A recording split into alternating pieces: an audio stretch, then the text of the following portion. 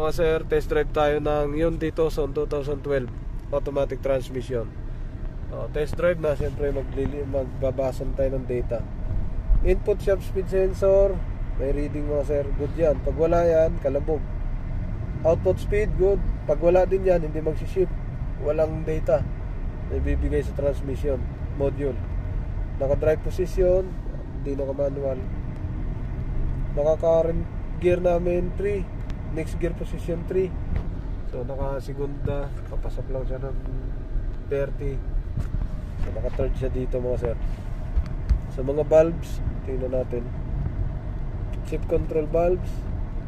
So yun ang reading niya. RPM 1213. Gear ratio 1.77. Goods yan.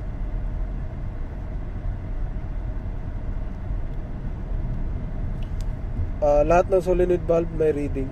Yan o. Naka-off, DSF sa start to. On. A, gumagana. Kadalasan ito eh, napuputol yan. Nag-off yan. Nagsi-zero. So good lahat. May reading. Zero, zero, naka-off. Yan. Palitan sa shifting pattern to mga sir.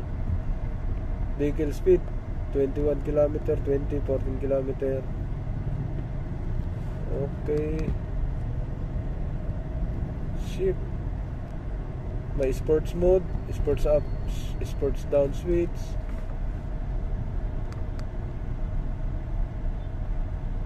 Brake switch on, yan. Nag-on ng brake switch. Gumagana lahat. Balik tayo dun sa ano, shifting pattern. Tingnan natin mga sir. Lahat ng gear niya pumapasok. Yan. Okay. Test drive. Nakasigunda lang. Naka-tresera. Nakapasok ng 30. Okay. Pasok ng 30. Naka-tresera. Ito mga sir, kaya natin nila live data para malaman natin na yung sasakyan sumusunod yung transmission at yung makina nag-uusap uh, yung system pag binasa natin pareho sila na reading yan na pag ito kasi bumibilis yung sasakyan pero naka 3 lang may problema ang transmission o di naka 1 lang o di naka 2 lang may problema mga sir. Kaya dito makikita natin kung yung pattern niya ay tuloy-tuloy. 1, 2, 3, 4, 5, 6 or 6, 5, 4, 3, 2, 1 up and down depende yon sports mode or automatic driving. Shift. Pagka inapakan mo lang permis yan permis lang yan sa takbo. Yung RPM hindi naangat yan. Ganyan lang yan para ka lang nakapigil yan hindi normal yan di ba hindi normal lang yan sir. Pagka kunya yan ganito nakbo tayo. Mm-hmm. Wag mong idiin. Apa permis mo lang. Hindi yan lalakad oh kung anong takbo mo yan lang yun yun. Hindi yan magbabago. Hindi oh. yung ibig mo sabihin na dadagdag yung RPM walang dadagdag na RPM doon. ibig ko sabihin kahit naka accelerator na ako ganun lang din yung speed niya. Ah. Yun yung sinasabi ko sa'yo kanina nakadiin na yung gasolina ko. Yun mga sir so ganun pa rin yung takbo, hindi kami nagbago. Ang concern ng customer, pag inapakan ng nakabaon siya, baon na baon na, pero parang walang RPM na pumapasok. Yung takbo namin, bumabaga lalo. Walang RPM na pumapasok. Yung throttle body niya, ganyan kay Tim. Subukan natin linisin niya mga sir. Baka nawala dyan, 2016 pa ang huling linis. Uh, siguro ilang taon na rin. Na-check ko na yung wirings, wala naman ako nakita problema. Walang putol, walang fault code So may ginawa lang ako doon sa BCM pero kapiraso lang yon. May nakita tayong hindi ganun kalaki, hindi pa naman siya kumalat. Tapos ito, sa RPM kami nung tumakbo. Nung unang takbo namin ayos, nung pangalawang takbo medyo mahirap na. Okay. So ang concern ng customer, namamatayan tapos pag bumababad siya, medyo umano nga ayaw mag-response kahit nakababad ka sa tingin ko mga 3,000 RPM yon ayaw mag-response. Permis lang. Para nakababa lang lalo. Tanggalin natin yun. Oh sir nabaklas natin yung throttle body. Parang yung throttle body doon parang maraming gasolinang pumapasok oh. langis. Ah langis dito yung sa breather. Madami. So tanggal na natin. Yung throttle body ni sir. Yan. 2016 hindi nalinis. Ang init. Yan. Yan sa harap. Ito sa likod. Yan. Yan sa likod. Yan ah. So, medyo madumi. Pakita muna natin. Kasi hindi siya nagre-response ng maayos.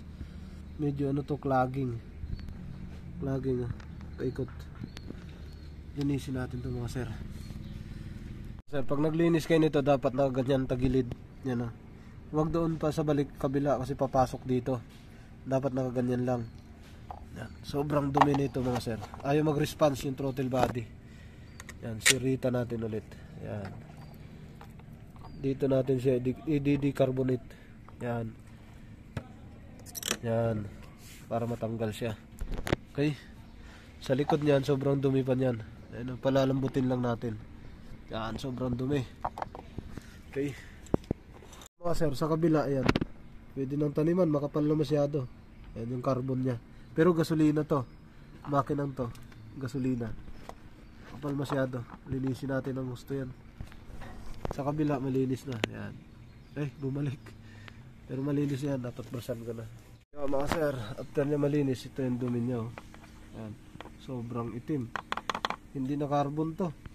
Langis na to. Tapos, okay, ito itapon yan. Ito na yung throttle body. Bumalik na sa dati. Yan. Pwede na isalpak. Dapat ganyan siya kalinis. Yung butas kasing maliit dyan, may pumapasok na hangin dyan. Pati dito sa taas. May pumapasok na hangin yan. Oh. Kita niyo siya may butas. Pag kayo natakpan yan, yan, hirap siya. Yan, yung butas na yan, kabilaan yan. Kaya hindi siya sagad dahil may humihinga pa dyan na hangin. Yung gilid-gilid niyan. So, pag napuno ng carbon, hirap yan. Minsan, mamamatayan ka niyan.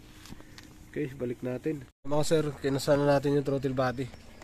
Salpak na natin. Dali lang naman ito yung salpak. Apat lang na tornilyo. Yan na. Pag nakasalpak na yan. Kasi ito, ang sakit naman na ito, magre-reduce ang ano, acceleration. Yung kanina, kaya tumitigil si sir ng ano, mga bali parang 3,000 RPM yung nakabaon yung paa pero hindi nagagalit so akala ko nag-isip ako baka transmission so nakita ko parang malayo sa transmission. Kasi dapat may acceleration muna bago yung engine yung ano speed.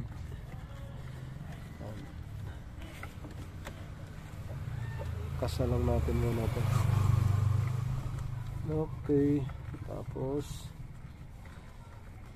saka natin i-test drive. Kaya iba nga parang ano siya bukod sa pigil yung RPM so ano din ah, parang hirap ang ano niya takbo siyempre parang napipigilan siya dito yung bawat gilid ng throttle body okay higpitan natin okay so nakabit na natin sir pa on susi sir on yan malinis na siya Ngik. On. Ay, oo nga pala. Rev mo sir, konti lang. Lakas. Testing natin. Okay, balik ko testing namin. Yan, testing ulit kami mga sir. Pagkatapos malinis yung throttle body, i-testingin ulit namin. Tingnan kung ibababad ni sir yun doon sa gitna yung acceleration tapos hindi to lumalakad walang galit tapos hindi lumalakad tsaka parang hindi bumibilis yung takbo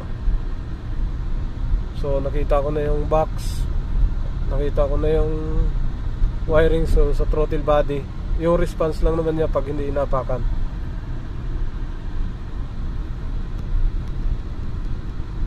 okay tuloy-tuloy pa kami sa labas ah, sir tuloy-tuloy pa rin test drive So naka-permis na kami kanina doon pero hindi tumigil. Bumilis lalo.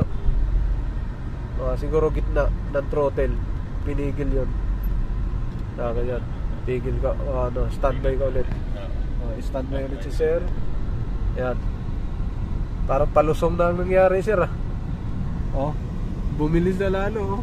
Parang naging palusong na lang tuloy oh nakapigil yan nakakontrol siya sa throttle body kasi tumitigil kami kanina habang lumalayo babagal na siya lalo tapos titigil na so ito ngayon naka nilalaro ni sir sa gitna hinuhuli niya yung ano, yung katulad kanina bago natin linisan. Wala, oh. sumasabay na. Oh. Sumasabay, nag-up yung speed. Oh. Lumata ka talaga kanina eh. Wala. Mabilis oh. Kitang-kita sa gilid. Mga nakasalubong tsaka sa gilid oh, ramdam mo na bumilis yung takbo. Yan oh. Umuover. Ay ay ay ay ay ay ay ay. Oh, di ba?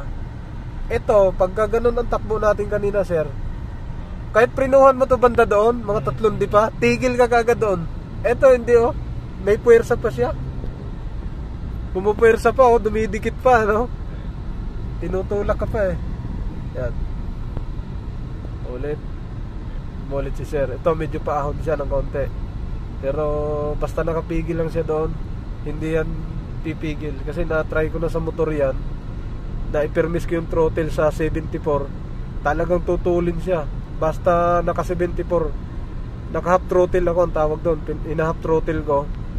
Tuloy-tuloy talaga siya. Tinitingnan ko kung magbababa ba RPM. Hindi bumababa, yung speed lalong dumadagdag. Yung RPM lalong bumibilis. Yan, yun yung sinasimulate namin ngayon. Kasi yun ang concern ni sir na problema niya.